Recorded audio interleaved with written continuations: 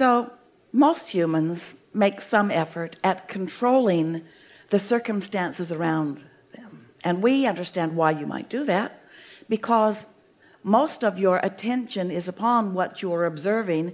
Therefore most of the vibration that you emanate is upon what you are observing which is the reason that most humans are very conditional in their offering of vibration.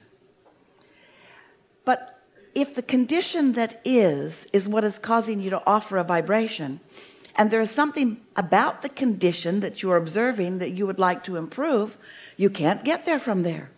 Because whatever you're focused upon is what you're emanating and what you're emanating is what you're getting back. So if you're observing something and you would like to ask for some help some clarity some improvement but you're focused upon the problem you can't get anyone to help you with a solution you can only attract more who are also focused upon the problem. Have you noticed it? It's what mob rule is.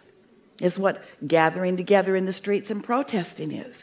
Law of attraction will put those who feel the same together